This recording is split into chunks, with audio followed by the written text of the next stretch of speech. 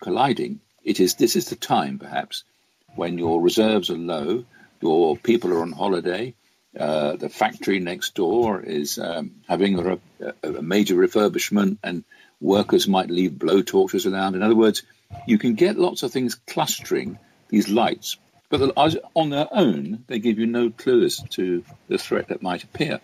Now, in terms of the crisis management team, uh, it'll, it, will it will be great if you can actually do some uh, psychometric testing and select just the right people who are going to lead, or some sort of Belbin-like test. So you look at completer finishers and all these lovely people, but you don't. In most boardrooms, people are selected on, on their competence to make a profit uh, in one way or another, or to make sure that the IT works. Now, to get these people to move from slow time to quick time to make those decisions isn't easy. It can only, by done, uh, only be done by done uh, be done by looking at things like removing the blame culture, getting people to understand that moving into a quick time environment which carries with it the consequences of what, what you do are far more profound than normal business as usual, and getting them familiar to do that. But I'd say the one thing that makes a good crisis team work uh, is the absence of blame culture, mm. followed very closely by the emergence of a leader a crisis team leader, and they only come from three areas because they got the technical competence, or they got suddenly they pop up from nowhere, but people just follow them, or they have some sort of rank. If you're in the military, that's quite easy to work out.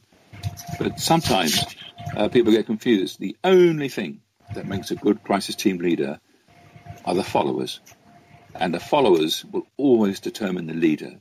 So you might say in a bit of paper, "I'm a leader," But unless the followers are prepared to follow you, you're a leader in name only. There was a French general 100 years ago who famously said, when his soldiers decided to do something different, he said, Well, I am their leader. I suppose I'd better follow them. uh, that, that's the sort of thing that can happen. Wow. Cool. Now, you, you've talked in some places about the unness. Where does that fit in? Well, there's a a lovely chap called Patrick Lagadec, who wrote an excellent book called Preventing Chaos in a Crisis. I'm absolutely thrilled and delighted that in uh, my articles on LinkedIn, uh, he's been very good to come back to me, and we're having online discussions. Cool. I hold him in great esteem. Mm. Uh, the book he wrote, Preventing Chaos in a Crisis, I shamelessly copied that title when the British government asked me to write a guide on resilience, on business continuity, or contingency planning. That was 18 years ago. Uh, so he's alive and well. Uh, unness was quoted by Patrick in his book. And he talks about the things that are unnecessary, unbelievable, you're untrained, it's uninvited. All the uns come crashing in the door. Uh, and that's unness. And it's a very common feature of crises. Hmm. Yeah, I love that.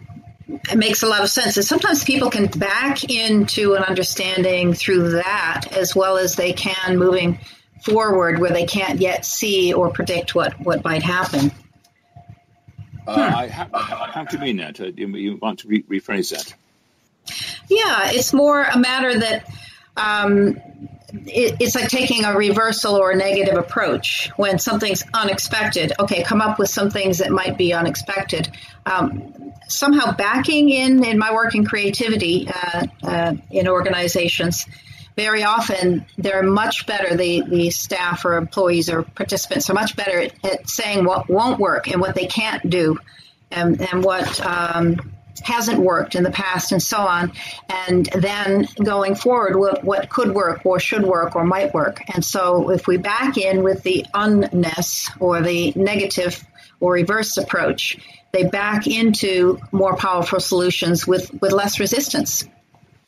Uh, that's interesting. Actually. I'm not sure it really chimes with unness. Uh, unness is simply a realization uh, that you perceive what's happening to be unnecessary, um, uh, and in, in, all its guises.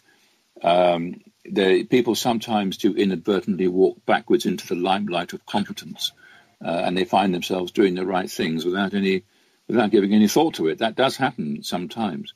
Mm. other things that are linked to a, sort of a, a gross over expectation that the people in charge of your company who are appointed because they are commercially savvy can now suddenly become uh, trained soldiers or firefighters or something like, like that because the crisis requires it. So people are very unforgiving uh, when those in command, in one way or another, don't necessarily act in the correct way. Because at the end of the day, you know better than I do. We're just a bunch of humans. We're not really hardwired to work like this, uh, unless you come to work every day uh, as a soldier trained to fight on the front line, where you can make decisions very, very quickly uh, in a rigid hierarchy that allows flexibility to an extent of decision making. Um, that's the point. Mm. So, yeah, lots of things there, but essentially, decision making in a crisis should be pushed down, coordination should be pushed up, uh, and that generally works well. So, Peter, you you find yourself obviously, like you said, you're not quite on the front lines as often as you used to be in your prior existence, but nonetheless, because you're dealing with crisis and and um, people who themselves are having to deal with, like you just said, circumstances that they weren't necessarily trained for or prepared for. How do you keep your cool and keep your sanity and um, you know stay healthy? Uh, not easy. By the way, I have to tell you, my screen just said it's got five minutes left, and that's true. Actually, that's all I've got. Uh, in terms of keeping yourself relatively stable in in the world of unness and, and everything else, that is very very hard to do.